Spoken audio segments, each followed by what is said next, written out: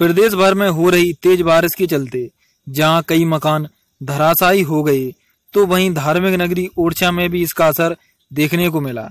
आपको बता दें कि पिछले पंद्रह दिनों में ओरछा के कई मकानों में पानी भर जाने से लाखों का नुकसान हुआ है। तो वहीं हरदौल समाधि रोड के वार्ड सात में रहने वाले मुकेश सेन का कच्चा मकान भी गिर गया। मुकेश की पत्नी सुमन ने बताया कि मंगलवार को हुई तेज बारिश के दौरान उनके मकान की दीवार गिर गई, जिससे सुमन का हाथ फ्रैक्चर हो गया और छोटी बच्ची को भी चोटें आई हैं।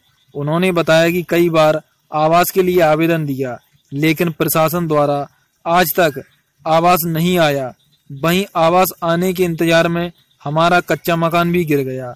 मुकेश ने बताया कि अभी तक कोई भी जनप्रतिनिधि हमारे हाल पूछने नहीं आए, एवं अधिकारी भी निरीक्षण करने नहीं आए। एसआरबी पर ओरछा से हरीश महाराज की रिपोर्ट।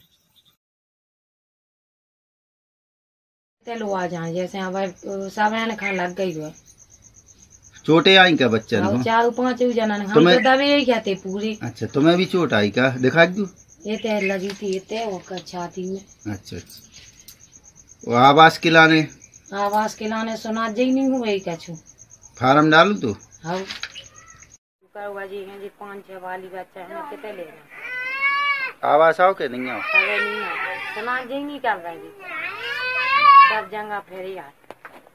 अधिकारी आएगा निरीक्षण करवे के लाने कल सुबह मकान गिर गया कोई देखने नहीं आया। अभी तक कोई देखने नहीं आया। अच्छा। तहसील में भी हम लगा चुके हैं आवेदन फार्म दे दिया है। हम्म नगर पंचायत में भी कल गए थे। अच्छा। लेकिन नगर पंचायत में उन्होंने साफ़ कह दिया था वो कहते थे उनके पास जाओ उनके पास जाओ उनके पास जाओ। साहब ने तो सीधा कह दिया कि भाई देखो यार हमारा काम नहीं है। तब की मैं छह बार छह बार फार्म डाल चुका आवास का लेकिन आज तक हमको आवास प्राप्त नहीं। क्या कहते नगर पंचायत अधिकारी आपसे? नगर पंचायत के अधिकारी क्या है? एक बार फार्म ले गए भाई तुम्हारा आवास आ गया है। वो डिलीट डिलीट हो गया है दूसरा तो दूसरा दिया तीसरा